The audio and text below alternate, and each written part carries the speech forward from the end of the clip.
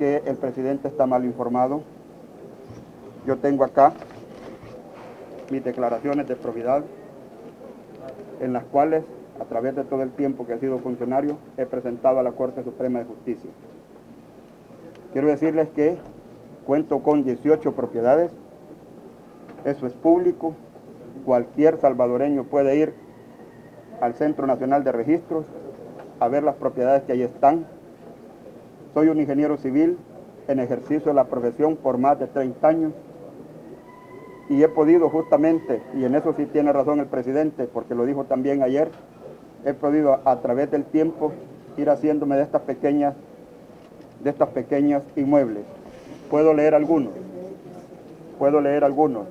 Inmuebles de, de 1.6 manzanas, de 4 manzanas, de 1.4, de 4.34, de 114 metros cuadrados, y así sucesivamente.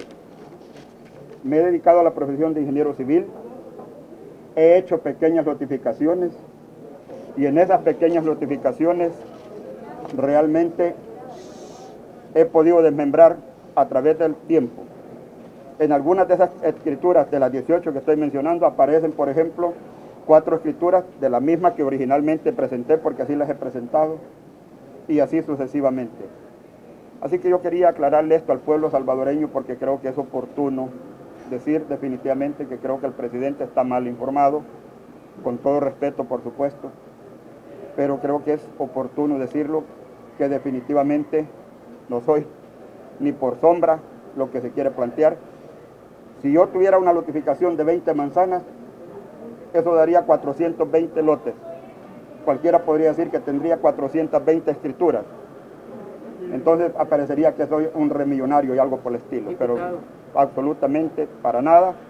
Así que yo quería dejar constancia y decirles que esto es público, que son, que son 18, que se han presentado siempre a la Corte Suprema de Justicia